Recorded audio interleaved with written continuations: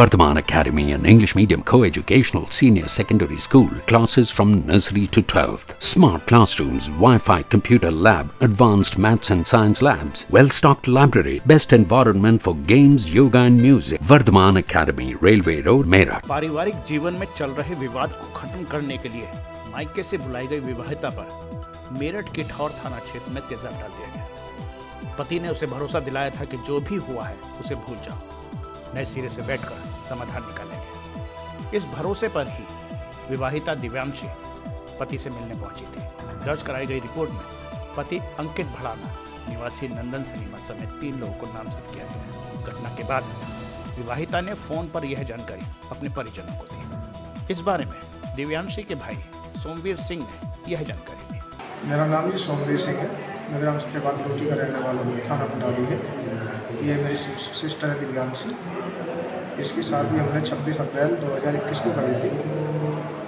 मेरठ नंदन cinema के पास में अंकित बनाना के साथ में।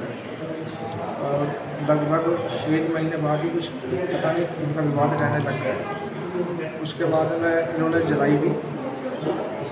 जलाने के बाद में उसमें हमने रिपोर्ट भी कराई है उसमें मुकदमा चल रहा है। कौन से थाने में? ये नौचंदी थाना है।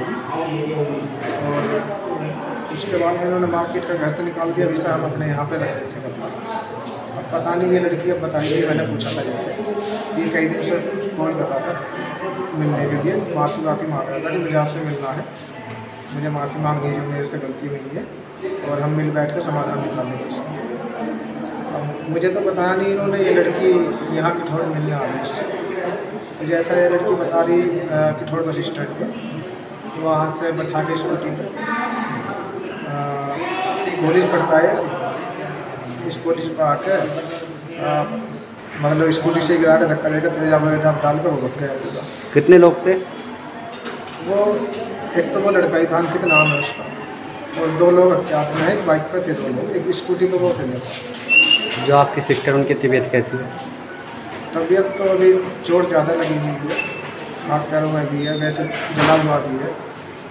अब डॉक्टर साहब देख रहे हैं बताएँगे डॉक्टर साहब। तो क्या आपने थाने में तहरीर दी है? हाँ जी कठोर थाने में हमने तहरीर दी है।